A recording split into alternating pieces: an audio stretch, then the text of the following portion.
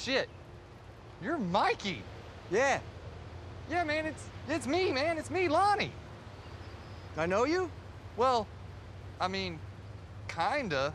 I mean, I, I live here, obviously, and uh, no, Lexi, man. Lexi used to babysit me all the time.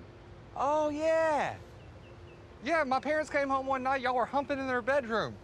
You jumped out the window naked. They called the cops on you and everything. Yep, yep. Now I remember. Oh, shit, your mother hates me. Uh, well, I mean, she hated you, man. Uh, yeah, she died. Oh, damn. Sorry to hear that. Nah, man, it's good, man. I mean, it happened over a year ago. Bladder cancer. Shit's a motherfucker. Ah, shit, that sucks. But hey, we should hang out sometime. Take a spin in this bad boy. Uh, yeah, man. What are you even doing back here? Oh, it's a long story, but do you think you could take me downtown tomorrow? We could catch up? Yeah, dude, I would love to. I got nothing else to do.